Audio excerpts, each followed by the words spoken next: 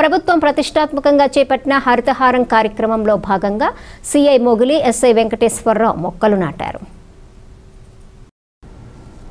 రుద్రంగి మండల police station ఆవరణలో CI K Mogili SI Venkateswarlu హరితహారంలో భాగంగా మొక్కలు నాటారు.